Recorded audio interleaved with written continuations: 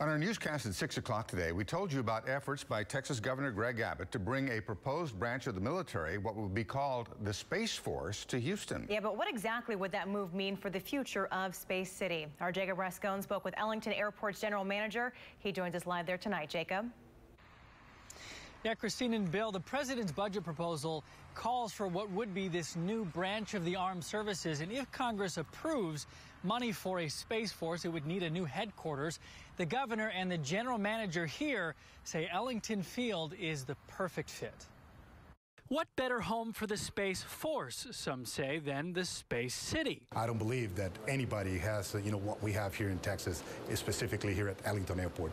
Ellington's general manager spoke to us from a new traffic control tower capable of handling commercial space flights. There is no better location for the Space Command headquarters than Houston's Ellington Airport near the Johnson Space Center. Governor Abbott wrote in a letter to President Trump, I hope you will agree with me that the Space Command belongs in the Space City.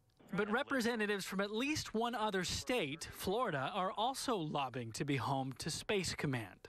We threw our name in the hat, and we're going to build our case uh, to make sure that the federal government realizes there is no other opportunity like the one that we have here. Some locals, like retired NASA scientist Everett Gibson, couldn't agree more. We have the proper space. We have the facilities, we have the research lab capabilities, we have space that is up for lease. They can move in tomorrow.